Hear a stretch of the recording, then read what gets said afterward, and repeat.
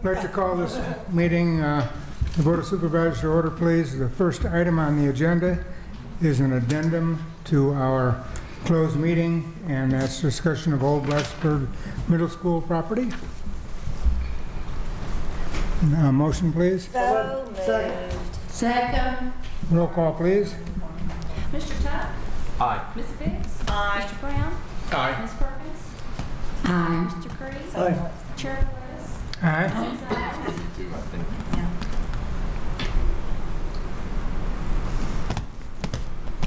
And the next item is our, uh, I need a motion to go into closed meeting. Second. Been moved and seconded. And the closed meeting is, uh, first, we need to accept the addendum. Did we already? It it would just be added as if it's not there already, you would just say. Okay. Where it says The- The first thing would be uh, discussion of uh, property and Yeah. acquisition. All right. Or buying, or uh, acquisition or selling the property. All right, discussion and consideration or acquisition of real property for public purpose or the disposition of public, publicly held property where discussion in an open meeting would adversely affect the bargaining position or negotiation strategy of the public body.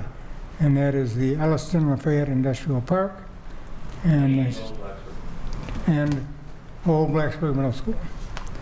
And the uh, second item, this is 2.2-3711-1, discussion, consideration, or interviews of prospective candidates for employment, assignment, appointment, promotion, performance, demotion, salary, disciplining, or resignation of specific officers, appointees, or employees of the public body. And that is for the uh, AFD Advisory Committee and for Parks and Rec. Mr. Creed? Aye. Ms. Perkins? Aye. Mr. Brown? Aye. Ms. Biggs? Aye. Mr. Tuck? Aye. Chair Lewis? Aye. Six ayes. And we're now in a closed meeting. All right. Thank you, dear. I'll be sure.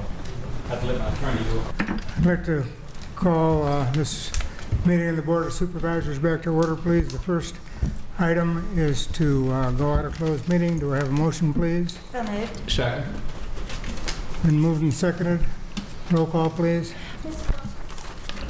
Aye. Mr. Brown? Aye. Ms. Biggs? Aye. Mr. Tuck? Aye. Mr. Creed? Chair Lewis? Aye. Six ayes. The next item is certification of the closed meeting, whereas the Board of Supervisors of Montgomery County has convened a closed meeting on this date pursuant to the affirmative recorded vote and in accordance with the provisions of the Virginia Freedom of Information Act, and whereas Section 2.2-3711 of the Code of Virginia requires a certification by the board of such closed meeting was conducted in conformity with Virginia law.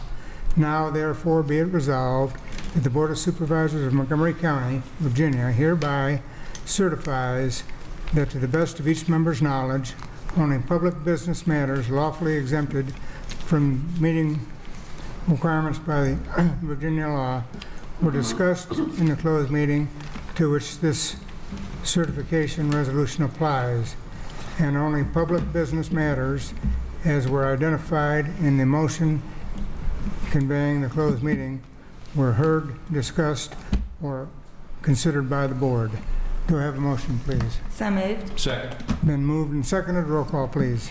Mr. Brown? Aye. Ms. Biggs? Aye. Mr. Tuck? Aye. Mr. Creed? Aye. Ms. Perkins? Aye. Chair Lewis? Aye. Six ayes. Uh, The next item on the agenda is our invocation, and that'll be followed by the Pledge of Allegiance. If everybody will please rise and consider the things that we have before us tonight.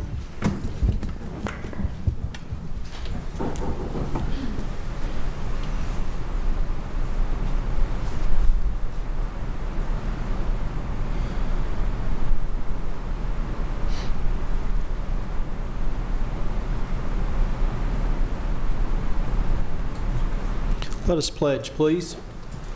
I pledge allegiance to the flag of the United States of America and to the republic for which it stands, one nation, under God, indivisible, with liberty and justice for all. Thank you very much.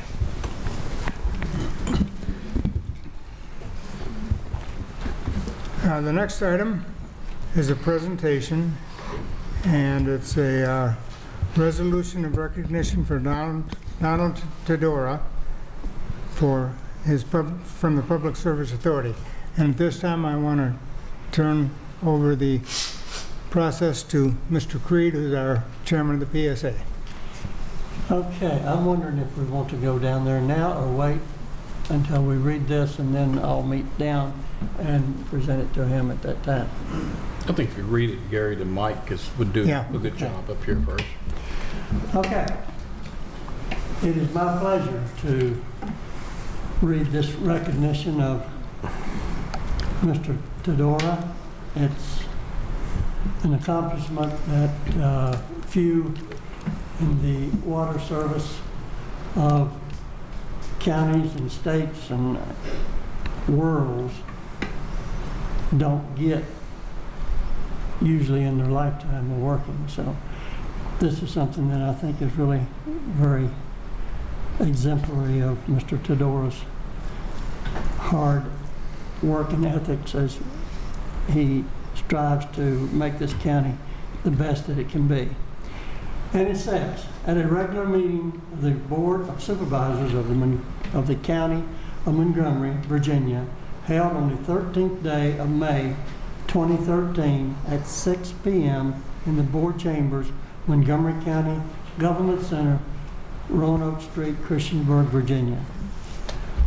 It's a resolution of recognition Donald D. Tedora.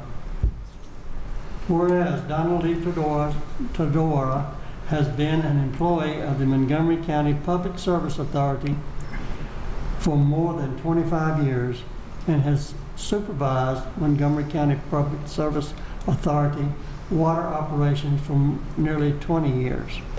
And whereas Donald D. Tedora has transformed the Montgomery County Public Service Authority water operations into a well-coordinated system that currently has less than 10% water loss and an overall permits compliance and has received compliments for Montgomery County Public Service Authority water systems operations from Virginia Department of Health inspectors for at least the last three years. And whereas Don developed and supervised sampling schedules for all Montgomery County Public Service Authority water systems, has developed a cost-effective leak detection program that has reduced water loss of over 25%, from over 25% to under 10%, and coordinates the conducts, coordinates and conducts all Montgomery County Public Service Authority training programs. And whereas Don can always be counted upon to assist in any Montgomery County Public Service Authority water operation at any time. His dedication to Montgomery County Public Service Authority water operations has made it the success that it is today. And whereas the Virginia Rural Water Association has recently named Donald D. Tedora the 2012 VRWA Water Systems Operator of the Year. Now therefore, be it resolved by the Board of Supervisors of Montgomery County, Virginia, that the Board of Supervisors congratulates Donald D. Tedora for recognition from the VRWA by naming him the 2012 VRWA Water Systems Operator of the Year. Be it further resolved that the original of this resolution be presented to Donald D. Tedora and a copy be made a part of the office, official minutes of Montgomery County. That is one, and we have another that is from the Virginia Rural Water Association, and it simply says Donald E. Tedora, Montgomery County PSA Water Operator of the Year, April 2013. So if everyone would like to come down, I think we all like to congratulate him.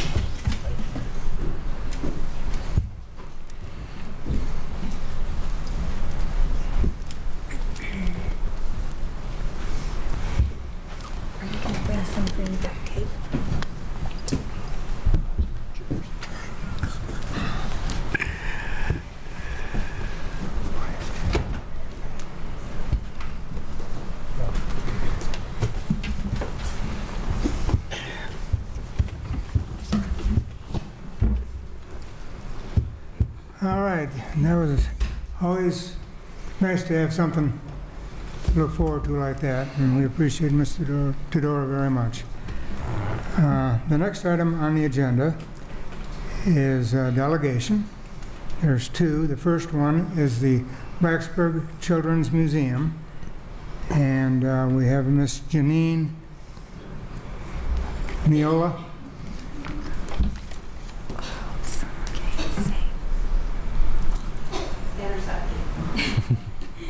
All right, let me get this going.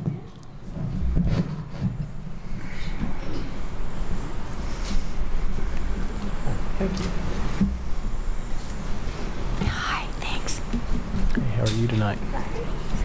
Good, thanks. Thank you. Good evening, supervisors. My name is Janine Canola. I reside at 3415 Gordon Drive in Blacksburg. I'm joined by my fellow board member Paula Bolte, also from Blacksburg. Thank you for the invitation to speak with you this evening. I'm excited to share with you our plans for establishing a children's museum in Montgomery County. I just have listed here our other board members. Um, We also have numerous volunteers that are represented um, from residences all over the county. We are all volunteers at this point. We are a 501c3 organization. Um, So we're all, at this point, volunteers without any paid employees. Um, And we've worked very hard over the last few years to establish our organization and begin the community outreach and fundraising process for a children's museum. Our mission statement is to nurture the curiosity and creativity of children through the exploration of science, technology, the arts, and regional heritage. And with that, we'll establish hands-on exhibits that will help children of all ages, starting with babies under one year old through ages of 10 and even middle school age, to explore these different content areas.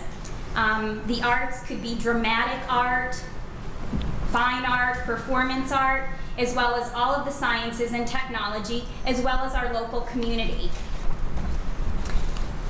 We recognize that a children's museum can really benefit our community as an economic driver to help um, bring family members who might be visiting our community to spend the day visiting um, restaurants, shopping.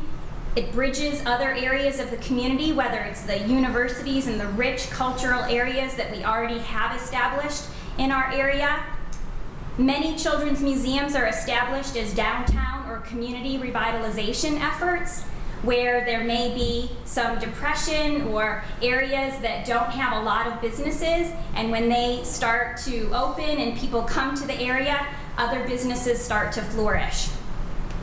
We plan to offer programs after school, on weekends, homeschool programs, and even during breaks and summers, such as camps and other field trip endeavors that we can work with the county schools on, as well as to um, facilitate visitors from all areas of our state and Southwest Virginia. So really, to bring people to our county um, is, is certainly an endeavor that we're looking forward to. These are the nearest children's museums that represent membership in the Association of Children's Museums, which is a worldwide organization that supports museums that offer um, museums hands-on exhibits for children. So as you can see, with the nearest museums being pretty far away, the closest being over a two-hour um, or nearly a two-hour drive. So we recognize that there's certainly a need in our area um, to facilitate a museum that our community can visit on an easier basis. And it is true, and, and many of these are reciprocal, have reciprocal memberships, so they will draw families from these other areas because most families say if you visit one children's museum, the kids want to go to more. So they'll say, where's the next one we can go to next weekend, mommy and daddy? And I guarantee we will have visitors from beyond our local area visiting these children's museums.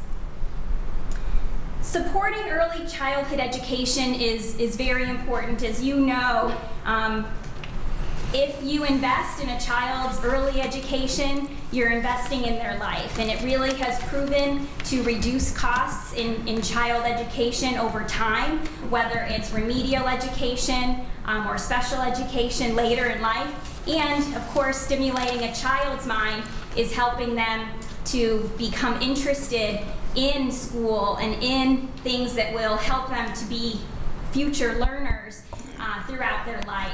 So you're, you're definitely investing in something that's going to help to increase earnings later on and increase the tax revenue that you'll have from our families and children who attend museums. Just to talk a little bit about some of the recent activities that we've had, um, just a couple of weeks ago, we had a sneak peek, which was basically creating a children's museum for a day. And we did this at the First and Main Shopping Center in Blacksburg in one of the open retail areas. We had about 3,000 square feet that we jammed with um, nearly 10 exhibits that encompassed um, creative art, a spy science exhibit, a kids grocery store, as well as a fire station and a veterinary clinic. Um, so as you can see, it was incredibly crowded. We estimate 1,000 attendees between our open hours of 11 a.m. to 4 p.m. throughout that one day. Um, so as you can see, a lot of families and children interacting together. Um, in the upper left of, of this slide is uh, the Blacksburg High School robotics team sharing their engineering skills um, and entertaining the kids with a robot that threw frisbees, so the children were catching it. Working at the grocery store, building with large blocks. We had a music activity. We had um, an engineering activity with a ball maze, and we hope to expand on that in the future where it could be something that the children could manipulate the track. We had veterinarians helping to work with children looking through microscopes as well as to help take care of their injured stuffed animals, as well as looking at some, some great x-rays. So the children were, were learning about um, animals and what it's like to be a veterinarian. So really helping to explore um, future careers and, and really pique the interest of these young children. So as far as our future plans, we really want to open permanently. We, we know that there's a desire and support in our community um, that's proven that many people have been now talking about for many months. Uh, when are you going to open? When are you doing that museum again? Um, and that's really what we're, we're hoping to achieve. We're working on exhibit development now and some fundraising plans. And we really hope that the county will help us in supporting our financial initiatives. We recognize that our projected annual operating expenses will be nearly $300,000 a year, which include uh, many of the things that you see here, such as our lease, insurance, salaries for full-time staff, as well as the hourly staff that we'll have working at the museum when we open on a regular basis.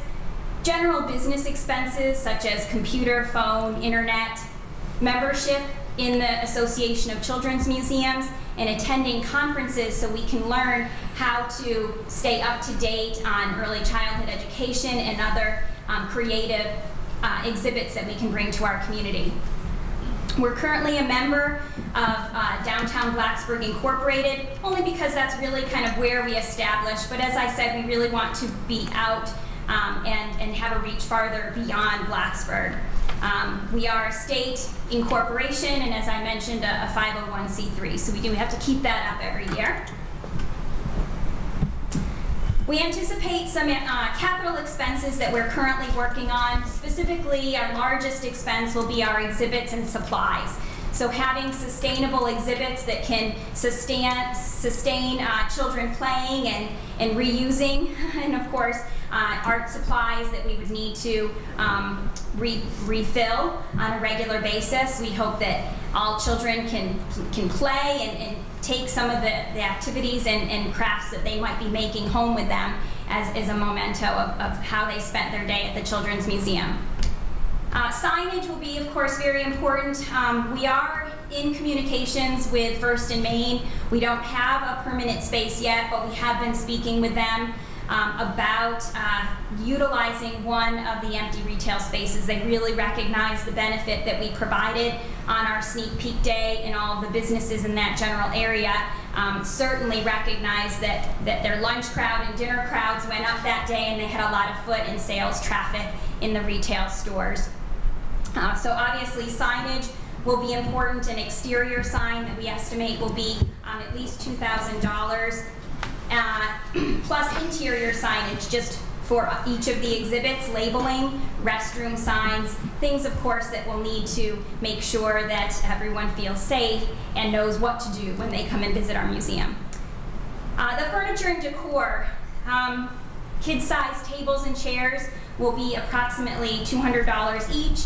We estimate at least six tables and chair sets to, to, to seat maybe a, a, classroom size of 30 children if we were to do an activity where we might have a field trip.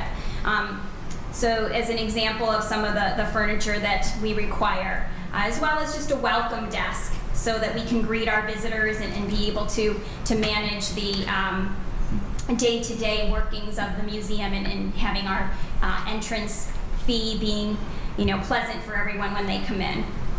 Um, and our exhibits, uh, we have priced and are working with different fabricators um, for exhibits right now. We know that a, a fire exhibit specifically will, uh, we've estimated and have budgeted approximately $30,000. So that's kind of on the high end of an individual exhibit. L others that we have looked at are anywhere between $2,000 for a lot of utilizing our community talents to build and create some of the exhibits individually. Um, and then some of the supplies that we would need for building blocks and bricks, and we've looked at different suppliers uh, for companies that, that sell durable type equipment that we could reuse and, and sustain the test of time and children playing um, will be approximately $5,000. So for all of our exhibits total, um, in the three to 5,000 square foot range will be about $100,000. We anticipate that we can have, um, for uh, museums that are our size and for the community in our local area, um, to sustain a, a museum that would have about 10 and upwards to 20,000 visitors annually. Um, and even if we charge $5 per person admission, we recognize as a nonprofit that we will continue to need um, annual fundraising. Um, as well as just our capital expenditures for the get-go. So we wanted to just kind of explain what, what that means and, and you know, just charging admission $5 per person would probably be the max that we would want to charge to visit our museum on, on a daily basis would not be able to cover the cost of, of our needs. So we wanted to just introduce you to the Children's Museum. We hope you learned a little bit. We've given you some materials. We encourage you to visit our website to learn more about us. And uh, we look forward to hearing from you and others in the community if you have any questions. Thank you. Is there any questions or comments from the board? Mr. Uh, Brown? Uh, wonderful presentation. For more information, uh, financial help. Uh, what are you looking for from this, from the county, from the board of supervisors?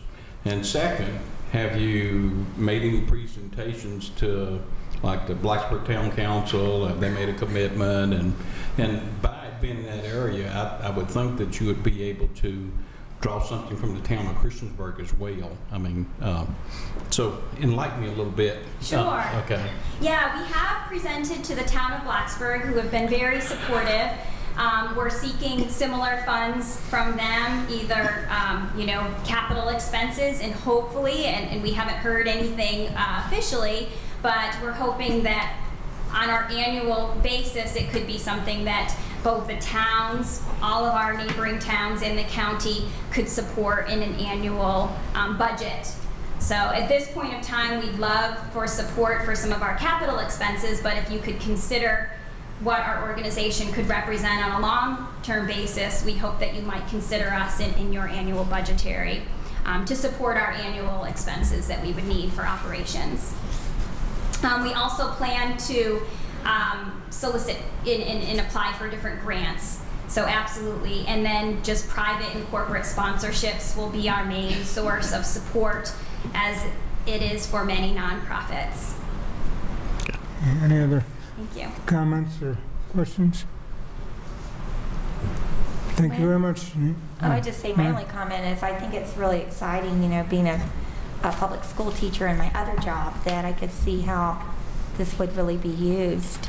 Have you thought about, um, for the furniture and that kind of thing, are you thinking it has to be new, or are you thinking you want to go for new, or do you, are you, could it be donated, or could it be like a project, like you were talking about the tables and all? Could someone actually make something and donate it? Absolutely, absolutely. We, we recognize that we have many talents in our community, and we certainly don't feel like we have to have everything brand new. Um, many other museums may even have exhibits that, that we can borrow um, or, or rent. So we've already started to communicate with other museums about that possibility, and sometimes it means that it needs to be mended um, because it might have, have been worn and used. But absolutely, even for our furniture, we, we welcome anything to help us to get started. Thanks. Thank you. Anybody else? Okay, thank you very much, Janine. Thank you very much. The next item on the agenda is the uh, quarterly report from the Virginia Cooperative Extension Office. And I would like to invite Michelle Dickerson up. And later on, she'll, we'll be introducing our new Cooperative Extension Office uh, Agent. Hey, what's agent? agent. Good evening to everybody, and thank you for the opportunity to tell you a little bit about what Co- Cooperative Extension's been doing in recent months. Um, I wanted to start by um, just introducing you to our new Agriculture and Natural Resources agent. We are so thrilled to um, finally have that person in our office, and so we have a full staff again, and we're very happy about that. So I'm going to introduce um, Kelly Scott is our um, Ag and Natural Resources agent. She's going to tell you a little bit. She hasn't been with us very long, but a little bit about what she's been doing, and then I'll give the 4-H report. Hey folks, it's so nice to be here with you tonight, and it's nice to be with Virginia Co- Cooperative Extension and be here in Montgomery County. Um, as Michelle said, I am a new hire to Virginia Cooperative Extension, Montgomery County. I've been hired since April the 10th, so I'm about six or seven weeks in, so I'm still in my infant stage, as I like to say. Um, but in the past few weeks, I have been very busy. Um, one of the my main objectives as a new agent is just to make a lot of connections within the county with farmers as well as business owners, folks such as yourselves, other government officials. So I've been doing that. Um, I've also been participating in a lot of new agent trainings through Virginia Tech and Virginia State University, the uh, the housers of, of Virginia Cooperative Extension. Um, I attended an agritourism meeting in Vinton uh, not too long ago, which was a great preparation um, for a, a new project for here in the New River Valley. As I'm sure many of you know, Giles, Pulaski, and Montgomery County have been awarded grants um, through the ADI, excuse me, AFID and the HCD um, to provide a plan, an agritourism and agribusiness plan for the New River Valley, seeing how we can assist farmers and, and business associated with that. Um, so through that uh, workshop in Vinton. Uh, Some of our folks in Montgomery County were there, so I was introduced to them on that day. And then I met with them after that just to discuss this agritourism grant a little bit more. It's also given me the opportunity to work with other agents in surrounding counties and in the New River Valley, so that's been really great. Um, I've been working with Steve Sandy uh, in planning and Lisa, our tourism director here in the building. Um, one thing I'd like to let you folks know about is we planned some meetings uh, to engage the public and farmers, producers, anyone who may be interested in agritourism. And there's one set for each county, Montgomery, Pulaski, and Giles. Ours is on June 6th, which I believe is a Thursday, but it'll be downstairs. So I'd like to invite you to that. This is on our uh, homepage of the Montgomery County website. So please, anyone that you know that's in agriculture or interested in this type of venture, please let them know and, and tell them to come out. We welcome their opinion. What time is it on June 6th? Uh, six o'clock. Six. And it shouldn't last, but the, the expended time is till eight, six to eight, so it's not an extremely long meeting. Um, I've also attended a two-day workshop uh, for the Appalachian Food Shed Project, which was also in the same vein of this agritourism grant in promoting regional and local food systems. I assisted with the 2013 Roanoke Area Junior 4-H Livestock Show. That was just this past weekend at Virginia Tech. And me being a horticulture plant person, that was definitely an eye-opening experience and really fun. I got to weigh some sheep and goats, so I, I suggest you all do that at least once in your life. um, I've met with the other New River Valley A&R agents, agriculture and natural resources agents, and the director of Kentland Farms. We are working on developing a agriculture field day for this August set at Kentland Farm, and that's for new producers or producers 10 years or less. It's, it's targeted towards the beginning farmer. I've worked a lot with the Master Gardener Coordinator for the New River Valley, Wendy Silverman, on the Master Gardener Program, and in June, we will be uh, participating in the Master Gardener College at Virginia Tech. Um, For 2013, the Master Gardener Program graduated 23 participants, so that's 23 new folks that we have willing to volunteer their time for activities and services to benefit Montgomery County. Also, our second annual plant sale was a success. It was here um, in the parking lot on May 11th, and I think we made $300 more than we did last year, so woo! Um, I'll continue to, to answer client questions related to agriculture and natural resources. Um, I'm also working with other agents in surrounding counties uh, on the Junior Hokie Showcase. It's an agriculture day directed towards fourth graders that will be held this fall.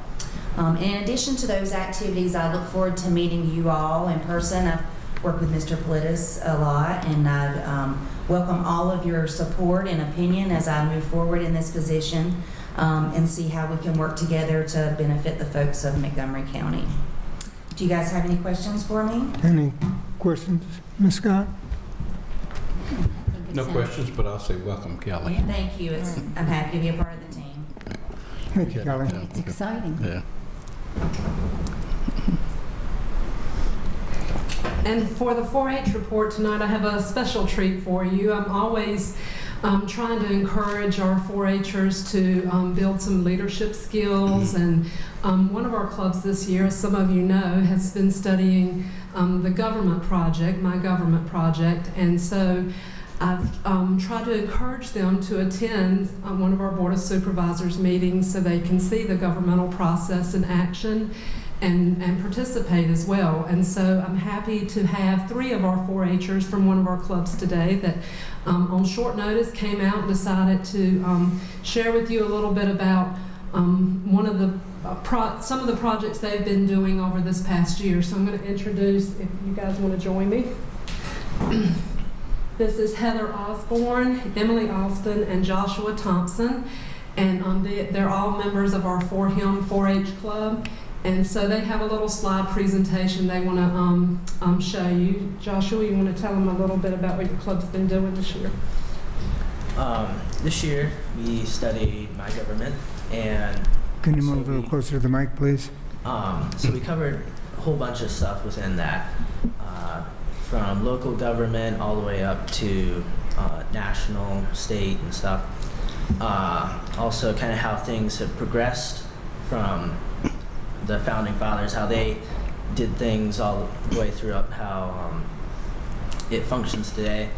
Um, we did several field trips, uh, one of which was to here, and looked around here, uh, Williamsburg, and the state capitol, and Washington D.C. Um, it was a really fun year, and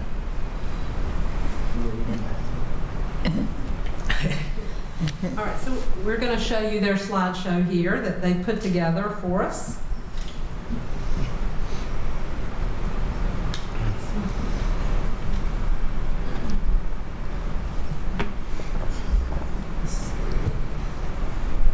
While you're uh, putting that together, Michelle, I just want to thank you, young people, for coming, and Mr. uh, Meadows and myself had the great honor of showing them around our government center a couple of weeks ago, and uh, I'm I'm glad you came this evening.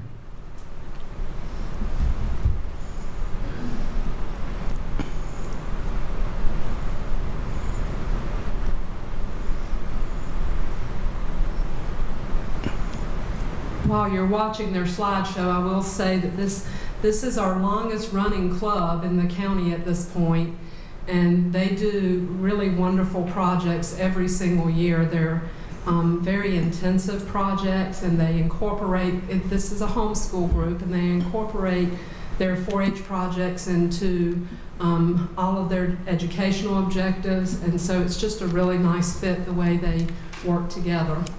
So it's a very active club. And some of, some of the pictures you're seeing here are 4-H Day at the State Capitol. Um, we, they have probably somewhere in the neighborhood of, um, I don't remember the totals, but thousands of 4-Hers visiting the state capitol one day in February and having the opportunity to meet some of our senators and delegates and tour the um, state capitol building and the governor's mansion and um, watching um, the legislative sessions from the gallery, all of those things.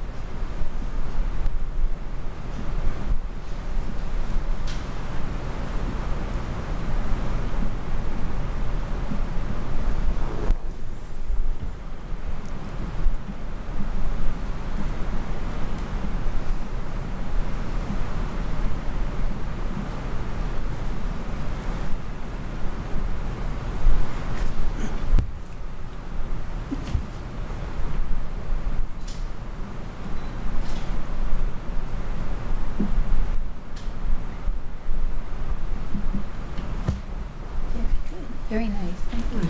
Thank you, and we thank you for spending time with our club and showing them the ins and outs of our government center here. And I'll, I'll just leave you with just a couple of other things that we've um, been doing in 4-H. A lot of our typical programs, uh, ending the year with a lot of our school programs, our stream quality assessment programs that we do with sixth grade um, science students at Blacksburg Middle School. Um, we are preparing for 4-H camp as usual. You hear me talk about that every year. But again, we have close to 170 um, children just from our county, 170 children, um, teens and adults that are attending camp in less than two weeks now. So as you can imagine, we're all a nervous wreck getting ready for, for that. And um, State 4-H Congress, a lot of these teens attend State 4-H Congress and give presentations competing for a state award at Congress every year. And um, I've been asked to be the Dean of State Congress this year, which has been a pretty big job. But it's given me an, the opportunity to work with our state 4-H cabinet, which is our officers for 4-H across the state, ambassadors from each of our district districts, as well as um, the state officers. And so, having been through that experience, I'm hoping to encourage some of our 4-Hers to run for one of those offices as a state ambassador or officer one day. So that's been a very good experience for me. So um, we, um, s- I apologize for getting you our written report a little later than usual. It's just been pretty hectic, but I'm happy to answer any questions either now or later after you've had a chance to read over it about our programs. Yeah. So. Any uh, questions or comments? Excellent. Ms. Perkins? Great program. Great. Yeah. Well, I'd like to recognize also Susan Birch, who Yes, Is the, uh, Thank you. leader of the group, I believe, Yes. and she brought the uh, young folks over to the government center, and it, it was really a very, very uh, enlightening experience for me to see this interaction and uh, inspiration that these kids have. Right. A lot of very good questions. Yeah, A lot of lot very good questions. Um, Susan Birch and Lorene Thompson are our two organizational leaders for this particular club. Okay, okay, thank We you very them much. for all their- Thank for coming, Thank you. Thank you. and welcome aboard, Kelly. All right, at this time, I have to uh, remove myself from this process as there is a, uh, what do I want to say, business, Conflict. okay, with uh, our people in the public hearing, and I'd like to turn it over to Mr. Brown.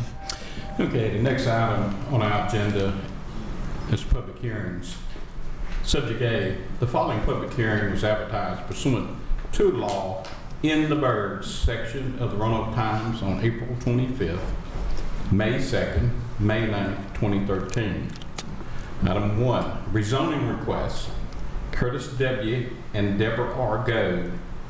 Request by Curtis W. and Deborah R. Goode, agent Connie Hill, to rezone approximately 41 hundredths of an acre from agriculture A1 to general business with possible profit conditions to allow a restaurant.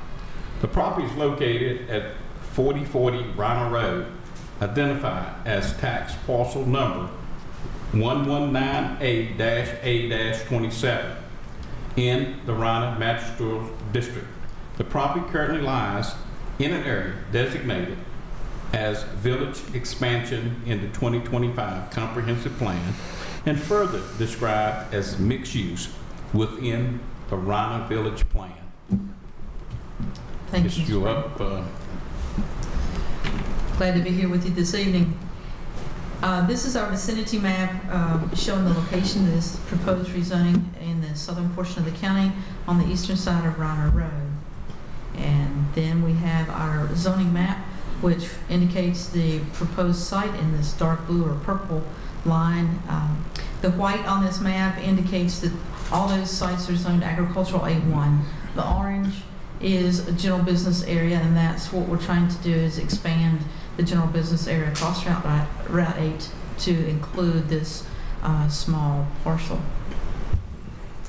This is an aerial photograph of the site. As you can see, uh, it's joining Route 8 right here, and there, uh, it's a it's a small residential use that's been converted to a uh, business use. Uh, several years ago, in 2002, the um, owners uh, acquired a special use permit to use this as a specialty shop in the agricultural zone. It's limited to, uh, currently limited to 2,000 square feet, and the most recent business there, I believe, was Traveling Treasures. If you'll notice the aerial photograph, this area over here to the um, west of Route 8 is the Riner Food Mart, and I think this is the uh, uh, gasoline canopy there, to give you a general feel for where this is located. Also, I'll ask you to notice that we are surrounded to the north, to the east, and the south uh, by single-family residential uses. The uh, Montgomery County 2025 Comprehensive Plan map shows this site here in the uh, purple area, which designates our mixed-use areas, and that uh, comprehensive plan map qualifies this area for the rezoning that's being requested today. So this applicant is requesting rezoning from A1 to general business, as Mr. Brown read, to allow uh, a restaurant. Uh, And we talked about the current special use permit in place. Uh, The address is 4040 Riner Road. Connie Hale operates the current Buffalo and More restaurant located uh, across Riner Road from this site, and she has a strong desire to relocate her restaurant to provide a growth opportunity there. They have a loyal customer base, and they feel that Riner is a great place to have this business and wish to remain there in that community. So the relocation would provide additional parking for the restaurant, which hopefully will allow the growth of the restaurant. So, as I mentioned earlier, this site is zoned agricultural A1, which does allow a restaurant with a special use permit. However, when we took a look at the zoning ordinance, we realized pretty quickly that we were going to have to um, pursue rezoning to general business to meet the impervious surface requirements in the code because we were going to have to um, add parking to serve this proposed restaurant. So we'll take a look at a few of the impacts here as we consider the rezoning request. Regarding transportation, there was no Chapter 527 review required uh, based on the uh, size and the, uh, uh, the number of visits per day that would be projected there. VDOT's 2011 annual daily traffic volume estimate, that's a mouthful, I'll tell you, uh, is about 8,700 vehicle trips per day. We spoke with John Jones, and uh, the applicant has uh, revised the concept plan, which has been um, considered for approval to actually relocate the entrance from the existing, um, basically the center portion of the lot to the northern side of the lot to provide a more direct access into the property without creating any congestion, hopefully, and, and limiting the uh, problems it would cause in Route 8. So we talk about infrastructure next. This site is served by PSA Water. Um, also on site is a private sewage disposal system. Now, the um, applicant has indicated that she wishes to connect to public sewer, and we talked with Bob Frank, our PSA director, and he says that a private easement for the private sewer line crossing private property between this parcel and the public sewer force main would be required, and if she can acquire that, then there's a great possibility they would be using public sewer instead of a septic system. That'd be much preferable to uh, what's there now. There will be really no impact to the schools because uh, this is to be used for commercial purposes. So, in considering the rezoning to general business, there, we think that the uses allowed in that general business district would be basically compatible with what's going on in this ar- area because this is a very small piece of property, 41 hundredths of an acre. It's a tiny lot. The, uh, there are also topographic constraints on this property. It slopes from the uh, Route 8 upward to the rear, and, and there's several feet change there. Uh, Also, with appropriate infrastructure in place to support the proposed uses allowed in that general business district, we felt like it, it is a compatible rezoning. In addition, um, if the property is rezoned, there will be a site plan required, and we will be looking for buffering to help provide some protection to the adjacent residential properties. So, also, we wanted to note that this area is designated in the village, in the comprehensive plan as village expansion. Uh, And further, in the Riner Village Plan, you remember the map with the purple, it is described as mixed use. So, um, what I wanted to tell you is that the comprehensive plan does support this rezoning. Uh, also, the Riner Village Plan encourages mixed use, and especially in small-scale buildings with small building footprints that are compatible with the traditional commercial and civic uses in that area.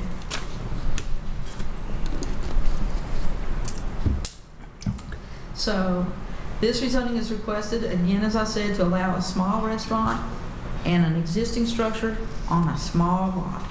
The, uh, we have determined this uh, property qualified for rezoning based on section 1028 of the county code. We feel that this zoning will, this proposed rezoning will increase the intensity of the commercial use in that area and obviously will bring more traffic to this site than it has seen in the past. Um, But we feel like that VDOT's on board and, and think that they can manage the uh, traffic increase there without too much problem. Also, uh, there are some traffic improvements along Route 8 proposed there with um, the school expansion in that area, so there will be, be some upgrades in the area anyway. They're fortunate to be in this location. So the applicants will be required to provide a site plan for review based on all the county code regulations should this rezoning be approved. And they will include things like parking and landscaping, lighting, and that sort of thing. Um, Gave you some photographs here in your packet, and we'll go through those very quickly. This is a uh, view from Route 8 of the, of the uh, site. You can see it looks very much like a dwelling. Uh, The handicap accessibility is already provided to this unit because it has been used for uh, business use before. Uh, This is a view looking toward Floyd County on Route 8. The rear yard of the proposed site. Uh, Looking south to the single-family residence uh, next door. And of course, we're shooting across there to the Bronner Food Mart. And southeast, other single-family uses with uh, one of the churches there in Riner to the rear. And the next closest neighbor is uh, 4032 Riner Road on the northern boundary line. So this um, slide shows you the revised concept plan. Basically, the entrance was much in the center of the site, and they are proposing to move the commercial entrance to this area, which gives us a straighter shot into the property, allowing some parking probably along this area, accessing the rear to provide some additional parking that they will need to have to uh, comply with the uh, site plan section of the county code. Um, So we met with the planning commission on May 8th.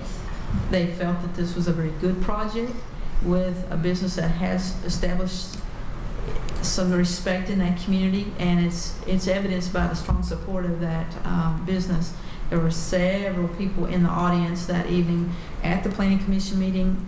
Only three of them spoke, but there were many, many stood in support of the rezoning request. So the commission has recommended approval of this request to you by a vote of six to zero. And we notified the adjoining property owners. I did not receive any inquiries about the uh, request. And I, I have the um, applicant here in the uh, room this evening, along with several other people in support of her. Uh, And I suspect they will make a few comments once we're finished here. Do you have any questions for me?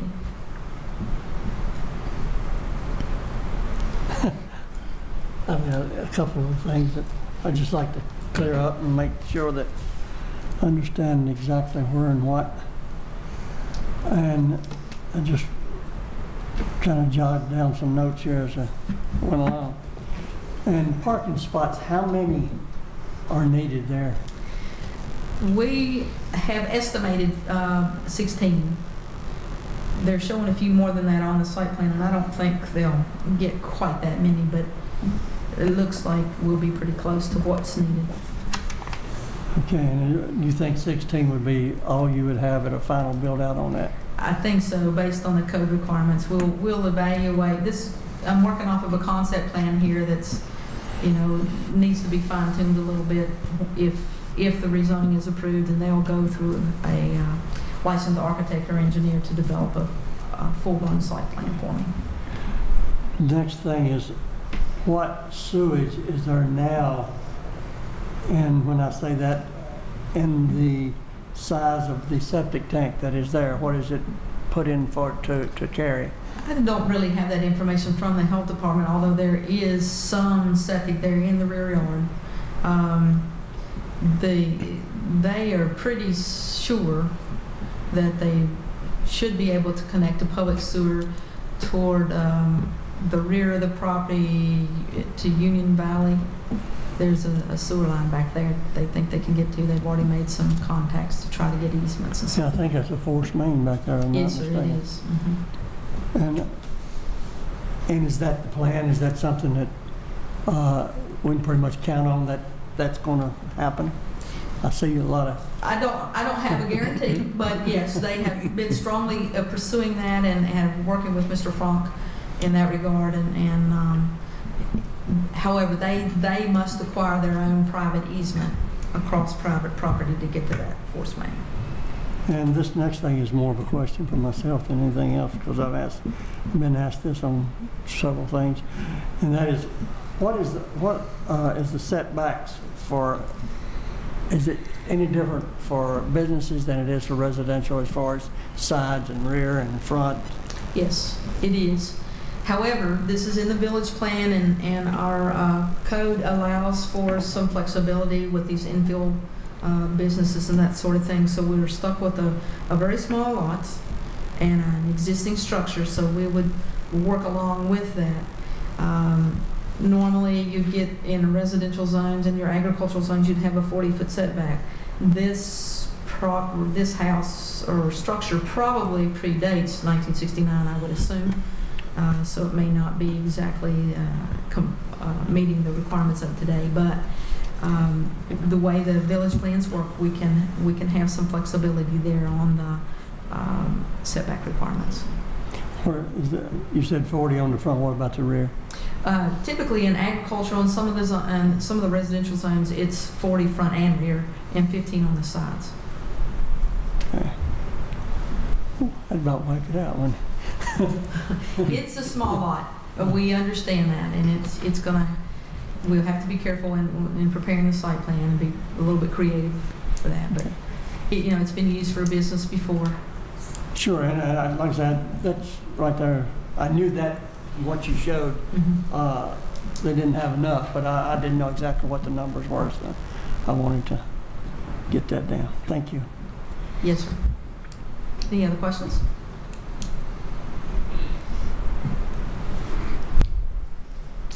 Thank you. Thank you. We're going to open it up for public comment now uh, on this public hearing. We have uh, one person, uh, Mr., I guess uh, Pat Smith, signed up to speak. And please come to the speaker's podium and clearly state your name and address using the uh, podium microphone, and you have five minutes. Pat Smith, I reside at 2125 Fairview Church Road in Riner, Virginia. I'm in support of the restaurant that provides a vital service for our community. They are active participants in the community, and uh, they need to expand as a small business and provide employment, will provide more employment once they move across the street. And uh, I think will actually enhance the uh, business community in Riner. Thank you. Thank you. Are there any other people who would like to speak who didn't get an opportunity to sign the sign-up sheet? If there are, uh, you can please come forward and state your name uh, and address, and you have five minutes.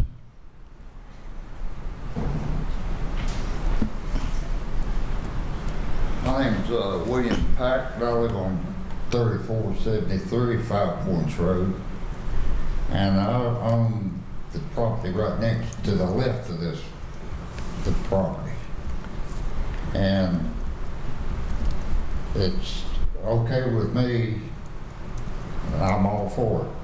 I think it'd be a good addition to the, to the Riner area, and, uh, I would rather go behind my, through my property to hook up, hook up the sewer system on the property I own on the, uh, the other side, if she needed to. And, uh, thank you for letting me say my piece. Thank you, Mr. Pack. Or anyone else uh, who would like to comment? Hello, I'm Connie Hale, and I'd like to thank you for looking at the proposed rezoning uh, of this location. Um, We've been a part of Riner now for several years, and we want to continue to grow out there. And we have tremendous support from all of the wonderful customers that we have out there, and we just want to continue to be a good part of Riner and Montgomery County. Anybody have any questions for me? Thank you both, all very much. Okay. Well, I guess we'll close the public hearing, Jim, and uh, turn the, the second part back over to you, disposal of, the next item, disposal of county-owned property. Thank you, Mr. Brown. I'm going to find out my way back here. I can't get out of here.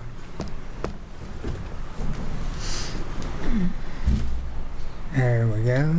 There you go. You're being too rough on it. There you go. Got it easy. All right, uh, the next item on the agenda is another public hearing, disposal of county-owned property. The Board of Supervisors intent to dispose of the following owned property. .375 acre parcel located adjacent to North Franklin Street and Business 460, north of the County Drive, tax parcel 406-A-23, parcel ID 180236. And um, who's going to speak on this? I can lead, I'll, I'll lead off and, um, this is actually a piece of property that the county is on for a number of years. It's a, it's a strip piece of property, uh, adjacent to North Franklin Street. It's probably an old roadbed that was there from some time ago. Uh, we've recently had interest expressed in, uh, someone that may be interested in purchasing that property. County has no public use for that property. It would make sense to try to, um, sell it to a- an adjoining property owner who could put it to use and also put it back on the tax roll. So that's the reason we're asking the board to declare this parcel surplus. Okay, is there any, Just the, uh, under state law for the county convey any use of property, you have to go public hearings. That's the purpose of this, okay, demonstrate that there's an intent to possibly dispose. at this time, there's nobody signed up for this public hearing. But if there's anybody in the audience who would like to speak to this public hearing, please step forward, state your name and address, and we have five minutes. Seeing no one, are there any questions of board members? This public hearing is now closed. Uh, The next item on the agenda is our public address, and we have no one signed up for public address. But if there's anybody in the audience who would like to speak, please step forward, state your name and address, and you have five minutes. Seeing no one, we'll now close our public address. The next item is an addendum, and we do not have any. Uh, Following the addendum is our consent agenda. Do I have a motion, please? So moved. Second. Been moved and seconded. Any discussion on the consent agenda? Um, Yes, I'd just like to um, say that I'm, I was glad to see the money in there for the roof replacement of the Christiansburg um, Library. They're in great need. They're they're also in need of a van. Their van broke down. And then the other thing is the circulation desk at the Blacksburg Library. So I was glad to see that some of our monies were being used in these areas, and thank you. Thank you. Uh, Anybody else? Roll call, please. Ms. Biggs? Aye. Mr. Tuck? Aye. Mr. Creed? Aye. Ms. Perkins? Aye. Mr. Brown? Aye. Chairman Littis? Aye. Six ayes. And now we'll go into new business. And the uh, first item on our new business is the joint law enforcement mutual aid agreement. Do I have a motion, please? So moved. Second? Been moved and seconded. Is there any discussion? Roll call, please. Mr. Tuck? Aye. Ms. Perkins? Aye. Mr. Brown? Aye. Ms. Biggs? Aye. Mr. Creed? Aye. Chair Politis? Aye. Six ayes. And the next item is subject B, appropriation leased office space. And uh, this is concerning, Be to have a location to house our reassessment group when we, believe it or not, it's time to start working on that again. So uh, our reassessment folks that we contract with uh, need space. Uh, For the last two reassessment cycles, we used the space in Building C for that purpose, but we don't have Building C anymore for that purpose. And also, uh, we've been working for some time to try to find another site for the magistrate's office. The magistrate's office is currently located in the old clerk's office, I believe as it's known, downtown Christiansburg. Um, That building is having some issues, and uh, from a liability standpoint and just from a standpoint of providing a safe, uh, efficient work environment for the magistrate's office, we're looking to relocate uh, them. And the property that we're looking to leasing, looking into leasing is the old medicine shop uh, building on um, North Franklin in Christiansburg. It's adjacent to the StellarOne Bank. Um, At one point in time, it actually was a bank. I'm not sure. First National Exchange Bank years ago. It was First National Exchange Bank. Um, The medicine shop was the last tenant in the building. Um, It's got a lot of open space. Uh, It's going to be very easy uh, to upfit, and uh, we've been negotiating with the property owner and think we've got a very fair lease to, to move into that building for the reassessment group and for the magistrate. So that's why we're asking for the money. okay, any discussion? Okay, have we already got the motion? No. Make the motion, please. So moved. Second. Been moved and seconded. There's no further discussion. And, and the only thing I would say is if you've been in the magistrate's office as part of my profession, sometimes you go in there, there's serious mold issues, there's some safety issues when you're dealing with inmates in, in regards to that situation. And you can see the brick is falling off the back of the building. And so I, I, I'm not an engineer, but when I see bricks falling off the building, I, I tend to think that there might be an issue there. Uh, so I think that's, that's one of the things that we have to, to address. Thank you. Roll call, please. Mr. Creed? I'm going to vote aye, but I would like to, in the future, have a little more leadway into, no use me asking you if you've done this, that, or the other, if we're going to vote on it now. So, uh, And I vote aye. Ms. Perkins? Aye. Mr. Brown? Aye. Ms. Biggs? Aye. Mr. Tuck? Aye. Chair Politis? Aye. Six ayes. All right. And, uh, we at here?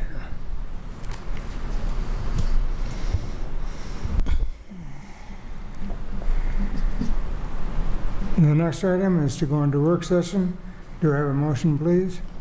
So moved. Second. Been moved and seconded. Roll call, please. Ms. Perkins? Aye. Mr. Brown? Aye. Ms. Biggs? Aye. Mr. Tuck? Aye. Mr. Creed? Aye. Chair Politis? Aye. Six ayes. And our work session item is Watch for Children sign policy. Um, I'll be glad to cover this one. Um, Judy Kaiser does a great job of making sure our policies and practices are up to date in accordance with the various other policies and procedures that we have to follow. And we became aware uh, over the last year that the state code was amended in 2012 regarding watch for children signs um, in neighborhoods. Uh, previously, um, if a citizens group or a community wanted a, a watch for children sign erected in the neighborhood, they brought that information to the county. Uh, the county staff reviewed it. If it met certain criteria, it was passed along to the Department of Transportation, and VDOT would install and maintain the signage. Uh, in 2012, they changed the policy. VDOT changed the policy that effective July 1st, uh, to allow for counties and towns to undertake the installation and maintenance of such signs. um, uh, And VDOT no longer has a role in that.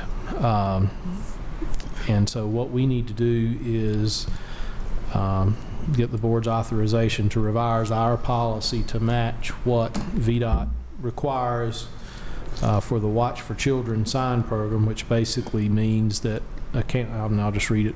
A county or town may initiate the installation of the signs by entering into an agreement with VDOT that specifies the location of the sign. So VDOT does approve the location. The county or town is solely responsible for the purchase, installation, and maintenance of the signs and must pay all associated cost. Uh, Secondary roadway construction or maintenance funds or any other VDOT monies may not be used to pay for such signs. Previously, that's the funding that was used for the signage. Uh, VDOT may not install these signs on behalf of a county or town. Previously, they did. And the process prescribed in the previous statute whereby a county or town could request by resolution that VDOT install these signs is no longer an option. Um, So basically, um, through this policy change, VDOT's placing that responsibility back on um, the counties and towns if you want to have one of those signs. So, Question, yes, sir. do the towns have full responsibility of this request for things that are in the towns? If it's a sign i- within the town limits, yes, it, it will be responsible. And also for new ones that go Yes, in? sir. Yes, sir. Now, now this policy, VDOT, uh, uh, one thing VDOT points out in this policy change, the existing signs are yellow and black, I believe. Um, The new signs will be green and white. And so VDOT will continue to maintain the signs that they have previously erected for the towns and this, and the county. Uh, They will not maintain any future signage. So uh, mainly wanted to bring this to your attention and ask for your direction in allowing us to amend our policy to match um, what VDOT has requested. It's not a huge issue. We probably get a couple of requests a year um, for these type signs. I can't remember honestly when the last one we had, but um, and, and the other thing that um, the board needs to provide us with some direction on is you do have the, I mean, you do have the ability to pass those costs on to the requesting parties, or the county can just say, we'll pay the cost associated with putting up the signs. Probably going to really surprise us how much it costs to put up a sign. It- I believe It's eight hundred and fifty dollars, which shocked me Yeah, as V- far as the sign. I think it's a rip. Yeah, VDOT said in 2011 dollars, the average cost to purchase and install a single such sign is $850. Well, Is there a limit on, especially on streets like 300 or 600 feet? I've seen that somewhere that there's a limit. Uh, It has to be so long before it can't even be qualified to get us. It does say that the speed limit cannot be greater than 35 miles an hour. So I know that, and I, I'm looking to see if I see anything related to, Says it somewhere. It's a whole list of rules in that document. they can't be within 200 feet of the posted speed limit sign. Page one of three, Yes, sir. number two at the bottom of the page. Uh, Road must be 300 feet or more in length, Okay, there it is. Yes, sir. and the road must have a daily traffic count of at least 200 vehicles. Mhm.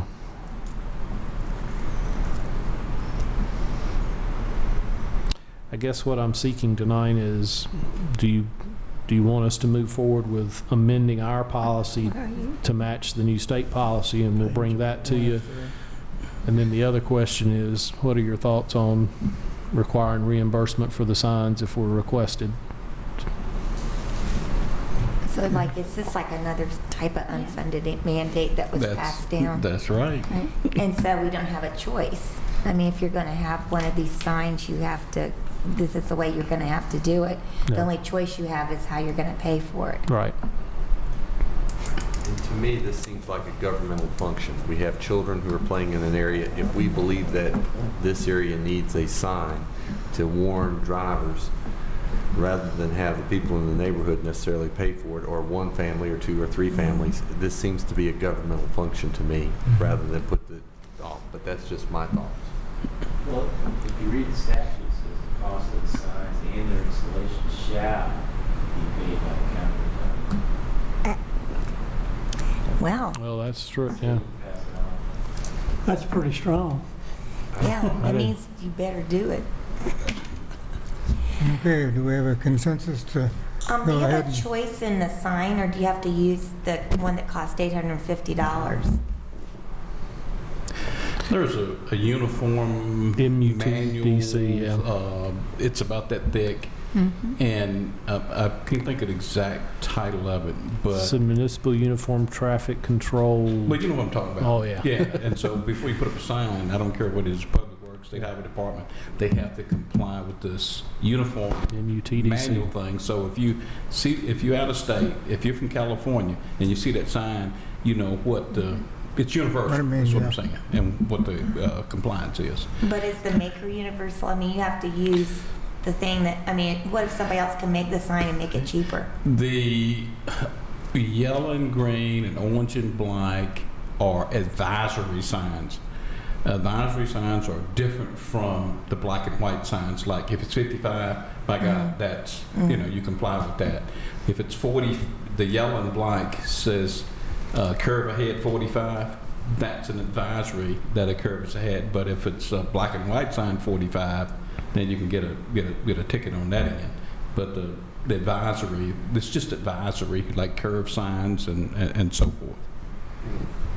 And also, Mayor, if you look at the agreement that's part of that, it says the size and type of sign to be used, uh, and then it references some DI catalog. Yeah. So it looks like they're gonna, they're gonna dictate what sign. is. Right. Well, there's, yeah, there's some other stuff on down below that, that says in some cases VDOT will be, uh, required to install and maintain the, this type of sign, so according to, if it passes all their criteria. So, That's kind of fuzzy. I just think, I just think we, we're in the wrong business. We'll start making them, them signs and installing them for about eight hundred and fifty dollars. Well, they're getting out of the watch children at play, watch for children biz, sign business. And Okay, is there any further discussion on this? Do I we just think we agree that need- we, some kind of, somebody to decipher all this stuff and bring it down into a little smaller. and bring it what- back to us what next we'll board do- meeting? What we can do is we will, I'll have Judy amend the policy to mirror what the agreement says, because one of the things we'll have to do is execute this agreement with VDOT that says we're gonna do this, and we'll, we'll give you some bullet points. I just mainly wanted to make you aware of it. It's not, you know, in the scheme of life, it's not huge, but it is another, Who changes the code of Virginia? the The General Assembly? General Assembly. So we need to know how our folks voted on that. Tell them it's going to cost us some money. Did they discuss that with you? Because they're always supposed to call if it impacts counties. Oh, when that's special. No, ma'am. We'll find out. They, they slid that one. All right, so I guess we'll bring this back to us at the next meeting. Yes, sir. Yeah. Okay. Thank you for an executive summary? thank you for the direction on that. Yes, sir. Okay. Now, do I have a motion to go out of closed meeting? So moved. Second. Uh, Work session, how do, Um, Go- work yes, session, go to work excuse me, Yeah, Thank you. We know what you mean. it's getting late. Not really. Not really. It's been a long day. How's that? All right, uh, roll call, please. Ms. Perkins? Aye. Mr. Brown? Aye. Ms. Biggs? Aye. Mr. Tuck? Aye. Mr. Creed? Aye. Chair Politis? Aye. Six ayes.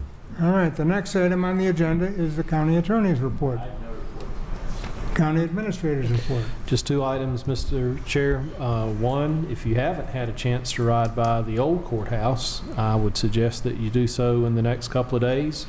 Uh, They are, as the old saying goes, they're going to town on that building. Um, There's going to be scaffolding pretty much all around it, and the bricks are going to be coming off soon. So uh, they're moving forward very quickly with the renovations on that. Very excited to get that project underway. And we had a 911 authority meeting this afternoon at 4 o'clock and had a discussion that 14 months or so from now, we'll be getting the joint authority, dispatch authority up and running. And, you know, that seemed, just not that long ago, that seemed like that was a vision way down the road, but it's here. So we're very excited about that. Also, uh, we had some great meetings with the uh, two town councils and the uh, school board. And I know everybody's had plenty of meetings lately, but I'm going to be contacting you in the next week or so to start talking about when we can schedule our next extended work session as a group. Uh, It's hard to believe this as well, but our last work session that we had was July 30th of last year, and we updated our vision and mission, um, talked about several things as we look to continue to move the county forward. Uh, We're working with staff to develop uh, plans for the upcoming year, and we need to get back together to talk about where we are and where we're going. So I'll send you something out, probably looking at July, August timeframe, but we'll get it out in plenty of time for folks to respond. And, Mr. Chair, that's all I have. Okay. And uh, Supervisor Creed. Yeah, just to take care of a little business before we get too far along, I would like to move that we rezone the acreage from A1 to general business for uh, Curtis and Deborah Goad. And uh, I'd like to make that as a motion before, before the board. I would like to second that, that motion. Okay, can I get involved in the move and second? Uh, yes, sir. You need- Okay. Well, some, oh, yes, state your conflict and I'll handle it. Uh, I'll withdraw my, my, uh, can I second and, or do I have to wait for a second? If I'm gonna be some, That you, You you were good. second, you're not Okay. there right now. okay. And, uh, I guess, um, any discussion at this particular point? Is there a reason that we're doing it now instead of like we would normally do at our next board meeting? Is there a hurry or something? There's uh, the staff report, the planning commission unanimously approved it, and it's overwhelmingly uh, support from the community and no, zero opposition. And I don't see myself, and Gary may feel the same way, in delaying it a couple weeks just to put them uh, further out than they could start doing what they need to do immediately. And at the planning commission, I know that there weren't as many folks, but there were probably 15, maybe 20 people who came out and support. Now, all of them didn't speak, but they basically all said, hey, we're all in favor of this, stood up and were very supportive of it. Um, And there was no negatives whatsoever at the planning commission meeting either. Any other discussion? No, I was just asking that Oh. because, you know, like when we do these kind of things, then if someone else comes along, they might expect us to do the same thing. I'm in full support of it, always have been, but I just wanted to make that, you know, like usually, you know, in our protocol, we have at our next meeting, so if somebody else wants to come along, they might expect the same treatment, that's all I'm saying. We have done this type of thing several times in the have. past, Well, when there's absolutely no, uh, Opposition. No no opposition. opposition for, for, the- for doing it, so just helps people get along with their business a little quicker. Does Jim now need to state the reasons? You can do that Okay. Okay. Boo. Uh, Roll call. Mr. Tuck? Aye. Ms. Biggs? Aye. Mr. Brown? Aye. Ms. Perkins? Aye. Mr. Creed? Aye. Chair Politis? Uh, I must abstain due to a conflict of interest. Have five ayes, one abstain. Okay, Mr. Creed, back to you. Okay, I have no further business. Thank you, Mr. Creed. Ms. Perkins.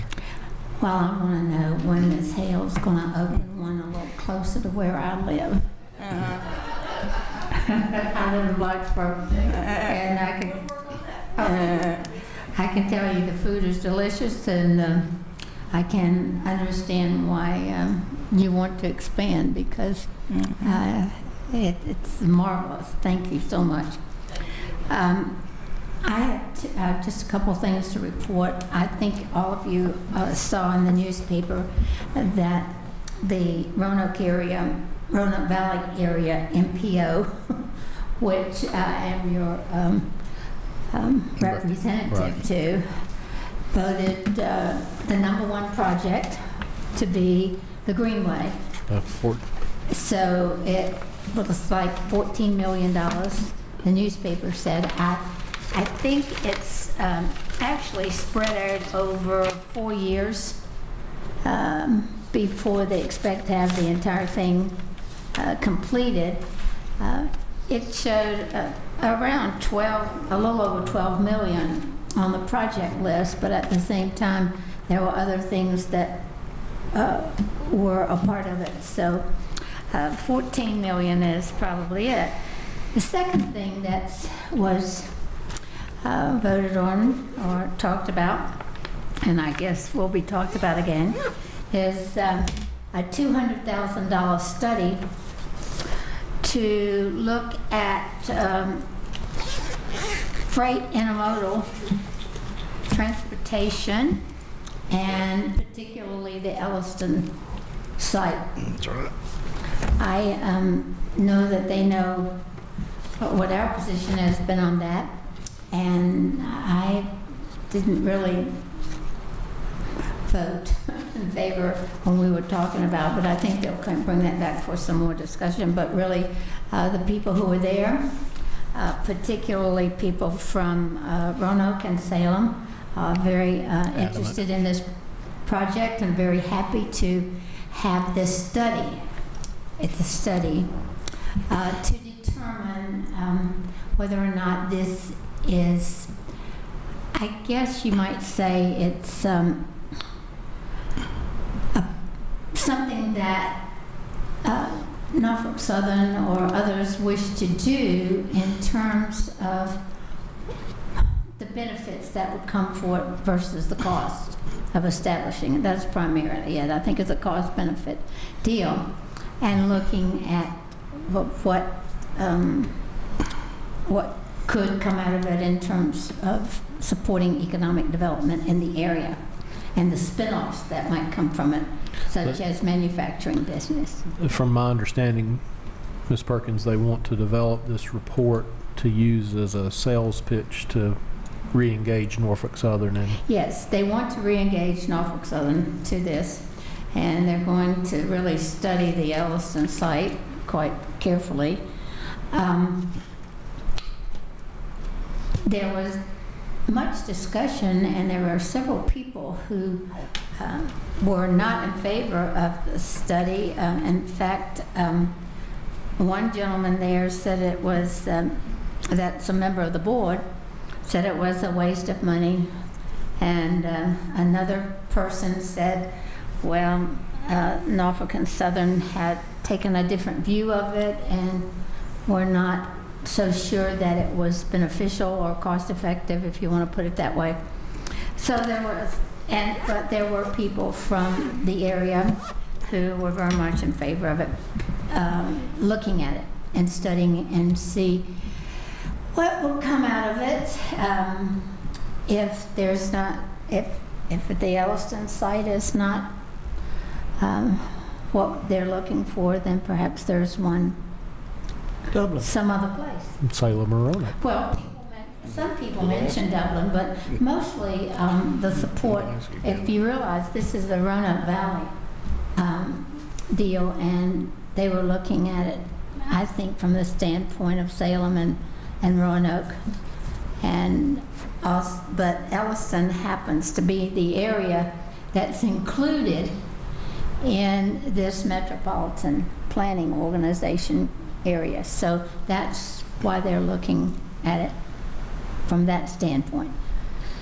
Um, So, um, stay tuned. There's another, there will be another meeting next week, I'm sure it will come up. But I will tell you, the, um, the Greenway people were really together, and they were there very strongly represented, and it appears that $14 million is what they want to establish this greenway. It's uh, down by the Roanoke River, and, I don't know, Uh, it's a very long place. It's a windy kind of a, a thing, but it's certainly um, a wonderful project. Then the other thing that I attended was the uh, Department of Social Services Board meeting on the 20th. Uh, Again, they have made some changes to the building. Um, They had some money to be able to use for some improvements, and I must say, the improvements are very good. They now have a, a a records room that is uh, uh, much better than what they've had. They were, did not, uh, they had boxes sitting around everywhere, um, and they needed to have some better organization for that. They also needed some, just some upgrades, for instance, uh, with taking some of the old carpet out and putting in floors that are easy to take care of, and, and then adding some other uh, carpet. So at any rate, um, the social services um, organization um, has so much to do. Um, and I'm astounded every week at the number of children that are either there because they need to have a place to go that's not their home.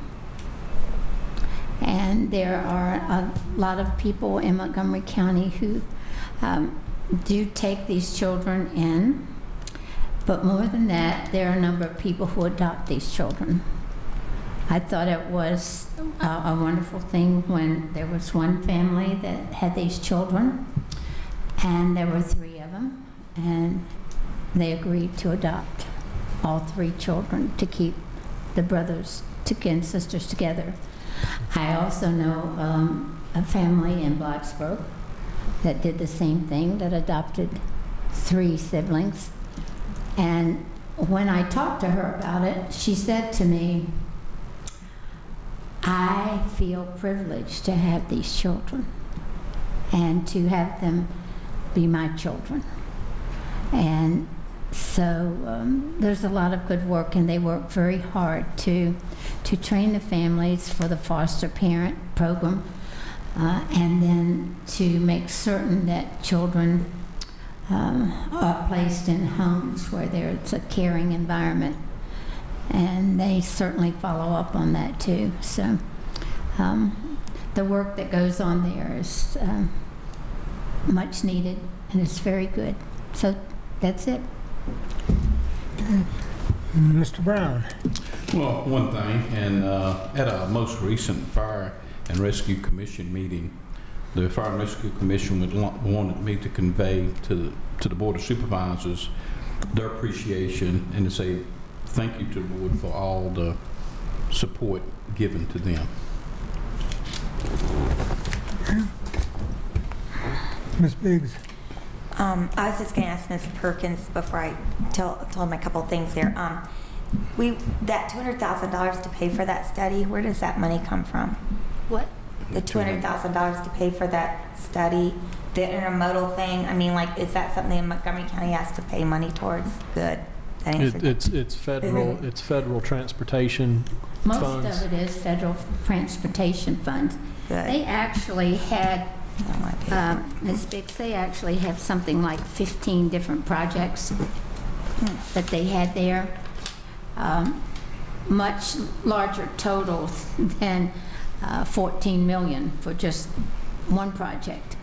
Uh, Most of the projects um, were in two to 600,000 dollar range. But there were some that were a million eight hundred, two million, one million five, three million five, and then um, some that were, there's one down for six million. And there's a plan, you can look at this, if you'd like to have it, uh, it won't all be done in one year, is that Right. you get these transportation funds, I think, every year, and grants uh, particularly. And so you use the money and you request the money uh, over a period of time. Okay, thank you. All right, um, I um, attended the New River Valley Community Services Board meeting, and sort of in the same vein, they, they did have a really good report on the Radford Transit um, and what was going on with their program and how much it's grown, and it's sort of like the same thing as the Blacksburg Transit, and that some of its funding, they're going to be competing for the funding that's involved with this whole MPO thing because now they're included and they've got to compete against each other for for monies, which is sad. But anyway, they sound like they're really making a lot of progress with their uh, transit, and it's particularly of value to people that are are trying to get from place to place that might be served by the New River um, Valley Community Services um, uh, services. Uh, they've expanded some positions. Um, and these positions mainly are going, this, this goes back to the New River Valley Community Services Board. These are like in-school counselor positions that are going to be expanded over into the Giles County area. We have them in Montgomery, we have them in Pulaski, and they're going to expand some in Giles. And I think every school in Floyd is covered but one. Um, and you're probably thinking, well, why would they be expanding personnel when they just cut personnel? Well, the personnel that they're expanding in this case are personnel that are going to be bringing in money based on what they do. So that was uh, that was information that we were given. Also, I'm going to hand to you. Um, we have these flyers, and um, this is a some workshops that will take place this Thursday. There's a session one and a session two. Uh, would you like to learn how you can help support wellness in our community? And it's called, it's about mental, mental first aid. And it's interesting because it did state that a person is more likely to experience a mental health crisis than a heart attack. And so if you're interested in finding out about what is mental health first aid, that's going to be the first session that starts at 9 a.m. at the Lyric on Thursday. Session two will start at 11 a.m. till noon and it's it's going to be all about self-directed health management, wellness, and recovery. And attendance is free. You just have to pre-register, and you get a free breakfast. So if anybody's available, might be something that would be sort of neat to go to and find out about. Um, the other thing I wanted, oh, I forgot that um, we never did say why Matt Gabriel, Gabriel isn't here tonight. Um, it's because he's at a um, function for his son at a Cub Scout end of year picnic, and he would probably want you all to know that. The other thing that I want to know, and I don't know how we get this information, is when the bridge fell apart out west, started me thinking about the bridges that we have that go through our county. How many of those bridges are like on any kind of list that's like a danger list? And I know that we don't have you know, resources to uh-huh. go out and fix bridges, but it would be a shame if something happened in our own community and we weren't even aware a bridge was on a list. If we're aware that a bridge is on a list, can't we make our representatives aware that we want something done about it? Murray, I can't think of the exact, something happened about a bridge and VDOT had all the bridges. You remember the, it ain't been too long ago? Uh, They had, I think the bridge in Narrows was their number one priority, which had the lowest rating in the New River Valley, and that is in the process of being replaced. I remember reading that study. Uh, Yeah. I don't remember, They do have a condition report or a condition assessment of all the bridges. I don't know. I know know. it's been since I've been on this board. Well, so can we get a can- copy of it? Yeah, I guess VDOT would, would probably, I think they're engineers or something. Something that happened with the bridge. Oh, the bridge out west somewhere that collapsed with all the people and it raised awareness in Virginia and they went out and inspected all the bridges throughout the Commonwealth. They'd probably have to shut the interstate down if they fix them up. Mm-hmm. Well, they don't have enough, mon- they don't have enough money either. That's a Mhm. big problem. But they rated them some way as Well, far they as can make replacement. money. Yeah. Here it is. Yeah, well, it just goes with the whole infrastructure, you know, problem across the nation, but it would be interesting to be aware of our own circumstances because it is something we can ask our elected representatives about. Um, you know, we have plenty of money to send overseas to fix things, but it seems like, you know, when you have people falling in rivers and things because a truck hits a bridge in the wrong place, that it sort of doesn't make too much sense to me. But anyway, I would like to know, so. That's it. Supervisor Tuck. Three things. Uh, the first is I was sitting at a stoplight and I noticed all the, the Tea Party license plate tags and how it's got live free or die in there eye catching. And I was on the way with my son, he was driving to take him to school, and I started thinking, what if we came up with a plan here in Montgomery County to use freedom increases responsibility? Now, each one of those tags generates a certain amount of money for whatever charity is involved. And we give every single dollar of that towards the school board's budget. And we come up with a, a creative way of whether, it's got to be eye-catching because more people are going to want to have it if it looks good. And whether we use the seal, whether we use maybe the logos from some of our various high schools, but to then be able to turn over those funds, 100% of them, towards the, the county schools. And so I would like to see if we couldn't ask the staff to at least look into that. Uh, when you look at some of the tags, some of them cost us, you know, an extra $25 to have those custom type tags. And a, a great deal. Virginia Tech does it, Radford University does it. Uh, there's all sorts of groups that throughout uh, the state of Virginia. I actually know some information on that because when I was the city manager in Bedford, we worked to get a tag for the National D-Day Memorial. You have to have a petition signed by 300 Right. citizens who indicate, and I'm not sure, I don't think you have to prepay, but basically it's That you're gonna buy 300, You're gonna buy 300 that commit to buying them before they'll do And- any of them. And then if you start looking at 300 times 25, that's some, that's a, at least a, Yeah. a decent amount of money. So I'd like to at least, you know, we keep thinking of creative ways to generate. Well, this is something that we might be able to do. The second thing, and uh, similar to along those lines, I would like, you know, we have an Eastern Montgomery High School uh, that encompasses Shawsville, Elliston, Lafayette. Um, and we're in the process of building a new high school on the western side uh, of our county.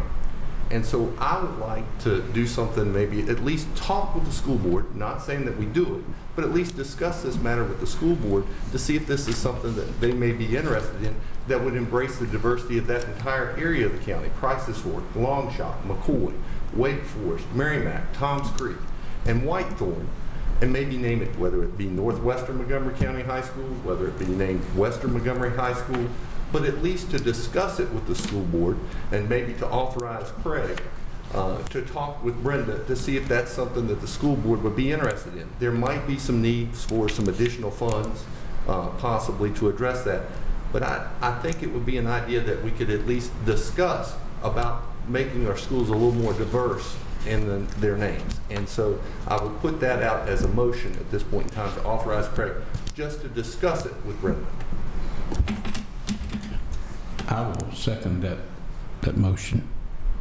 We have a motion and a second. Any discussion? So are we going to do that for Christiansburg and Auburn and change their names too? Well, I wouldn't, uh, you know, if we get one Auburn, I was thinking about that. That kind of doesn't, it's just not Riner High School, it's Auburn. It embraces a, a large area uh, that, that deals with that area of the county. If Christiansburg, once we start looking at um, a, a new high school or remodeling it, that's when we could start looking at that idea, maybe going with the central Montgomery High School. Uh, But just take a look at it, but it, right now, we've got uh, the opportunity, I think, to at least discuss it with the school board and see if that's something that they're interested in doing. I don't see where it, it, it would hurt to discuss it and, and, uh, you know, to put it out there and it, it, I mean, if, uh, the manager and the superintendent and chair and whatever talk about it and it's no, no, no, at least, you know, it was looked at, you know. Any other comments? Are you voting on this thing now? I think You there's got a motion and a second. Yeah. Okay. No further comments? Roll call, please. Mr. Curry? Aye. Ms. Perkins?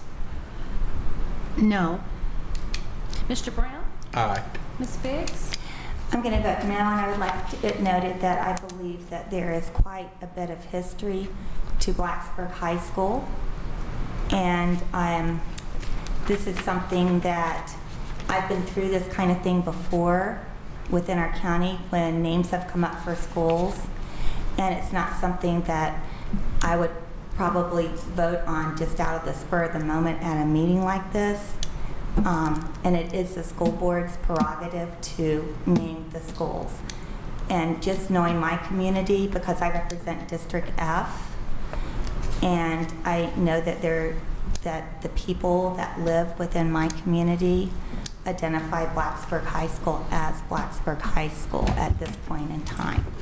And until my community tells me differently, then I'm supporting my community. Mr. Tuck? Aye. Chair Boyles? Aye. Four ayes, two no. The, the last thing I have to discuss is, for many years, I, I donated blood about 10 years ago, and I don't particularly like needles. I don't. I kept finding excuses and excuses and excuses. Um, and, and today I donated blood. I'm able to work. All those excuses that I had uh, are gone away. But they, they told me an important thing when they were drawing blood that if for men, if you will donate blood once a year, you reduce your heart attack by 50, uh, chances of a heart attack by 50 percent. So instead of being a chicken like I had been for the past 10 years, go out and not just do something for your community by donating blood, but do something for yourself just once a year. And that'll be it. All right. And uh, I have a couple things.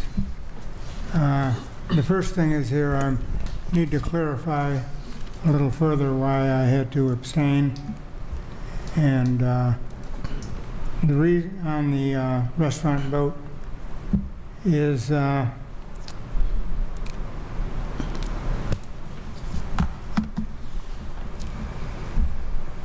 participating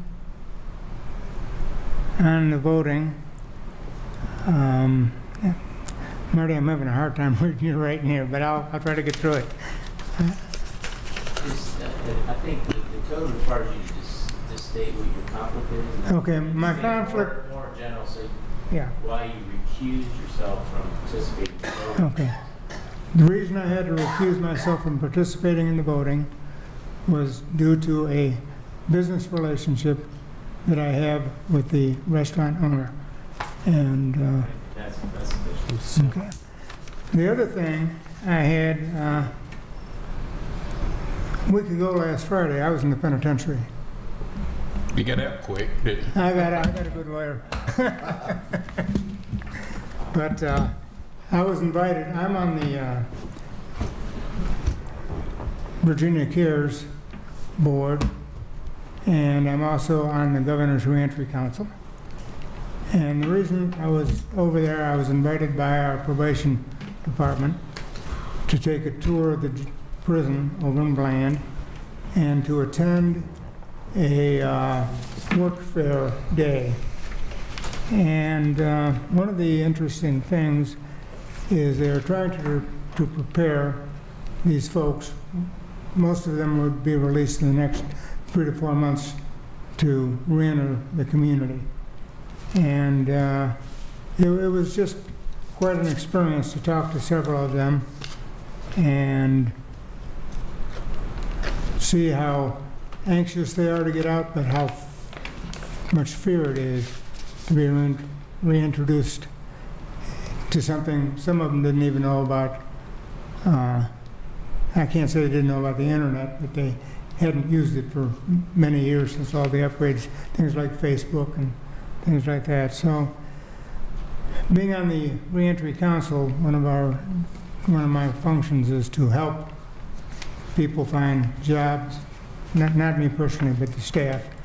Uh, help people find jobs, help them uh, find a place to live, and things of this nature. And uh, this is, as everybody knows, a continuing cycle, and it's something that uh, I'm proud to be part of. So I just wanted to mention that as one of the things that I do in my off time. but uh, and next week, Mr. Creed, I'm going to be in Richmond on Monday for the ag meeting. Uh, so I won't, possibly I won't be at the PSA meeting on Monday night. If I get back early enough, I will. And also on Tuesday, Wednesday, and Thursday, I'm going to be at Virginia Care State Board meeting, so, over in Virginia Beach. But I won't be able to enjoy too much of it, so. Jim, to uh, provide a little more information to Ms. Biggs about the funding. Um, They, it's a six-year program that's very similar to what we have in Virginia. Uh, They estimate that there'll be a total of 28 million or 28.2 million over the next six years. And part of it says, uh, uh, or part of it, Common- the Commonwealth Transportation Board provides the local matches for the, what we call the RSTP funds, which happen to be the Regional Service, Surface Transportation Transportation. Program.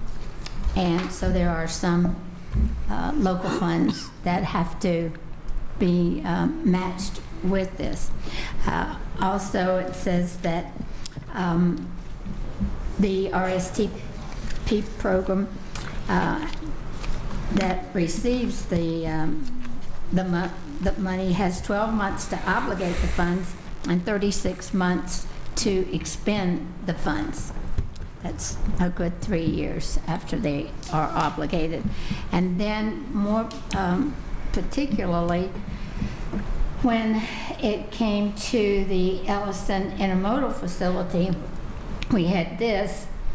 The project budget uh, has been listed as $36.1 million. Um, And the project timeline, now this is the whole thing uh, originally, the project timeline currently is on hold as Norfolk Southern assesses current market demand for the Heartland corridor. And also, the project scope was to involve the intermodal facility, the rail yard, and the connector roadway. And it's my understanding, from what I've read um, and looking at the information I've been given, that the road is uh, underway and that they, uh, that VDOT will be widening and dealing with 603 from 81 to 460. That's Correct. As it now stands. So it's um, what's called the Regional Surface Transportation Program. They're mostly federal, it's federal highway funds, just like when we're doing things at the airport for the Airport Authority. The federal government, the Federal Aviation Commission gives uh, 95% of the funds. The state of Virginia gives 3%, and the 2% is then left to the Well, locality. yeah, I was just wondering if, if our county was going to have to pay money to a study No, to advocate for something that we had gone no, through such a hard time about. That's what, well, I didn't vote for it anyway, so that's one of those things. Okay, Let, let me say one, one other thing real quick. If any of you ever get a chance, Salem on the, what I call the River Road that runs Riverside Drive. Riverside Drive. Riverside Drive. I've been there. If you want to see a nice bicycle pedestrian walkway, Part of it. Go, go there Yeah, I've and just there. drive down through, go that way. They're to where you're beautiful down going. there. I mean, they, they've done it the way it's supposed to be done. Okay, if there's no further business, do I have a motion to adjourn? So moved. Second? All in favor? Aye. Opposed? I don't think there's anyone opposed.